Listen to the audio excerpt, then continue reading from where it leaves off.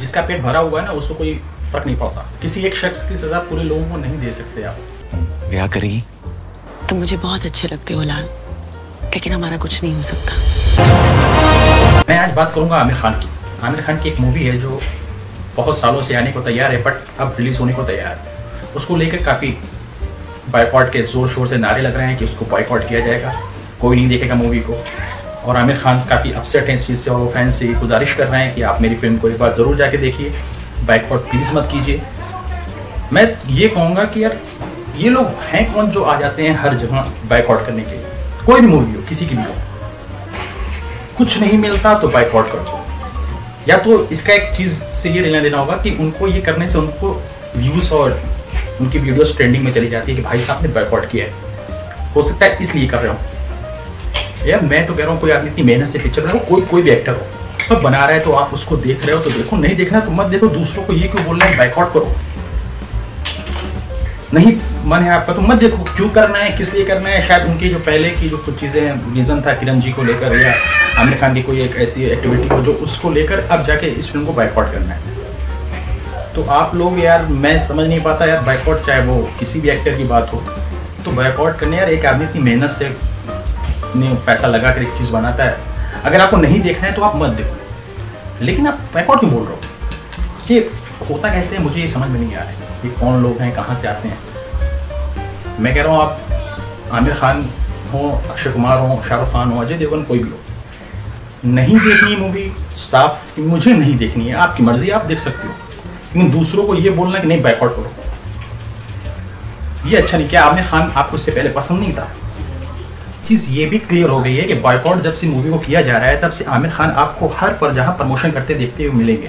पहले आमिर खान प्रमोशन करने के लिए किसी शो में जाते नहीं थे। बट अब की बार आमिर खान हर शो में जाएँगे, क्योंकि गलती उनकी भी है।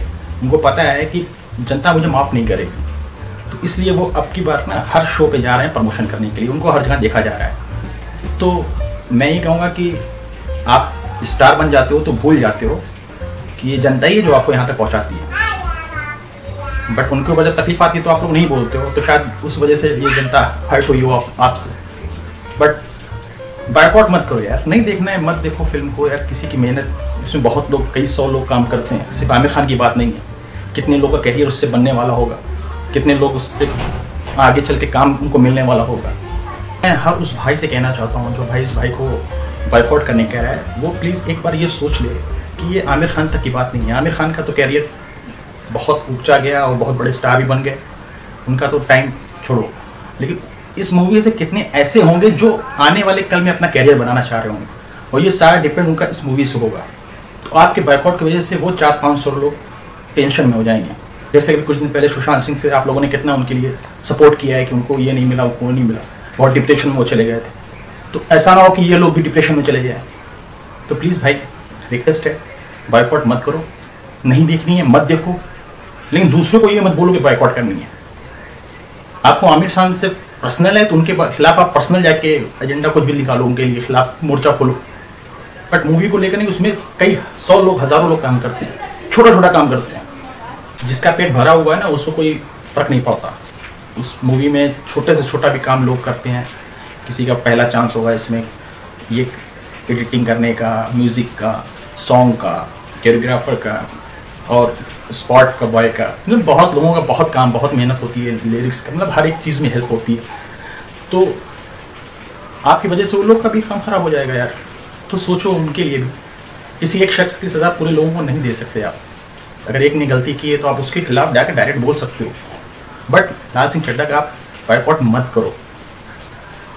मैं सारे भाइयों से कहता हूँ प्लीज़ कि अगर ये मेहनत हम करें और बहुत मेहनत लगाएँ और मेरे साथ ऐसा हो तो सोचो हम लोग पे क्या गुजरेगी। हम लोग को भी बड़ा अफसोस होगा। ठीक है, मिलते हैं फिर नेक्स्ट वीडियो में। Okay tata bye see you again अगर बुरा लगा मेरी कोई बात तो उसके लिए सो सो सॉरी यार।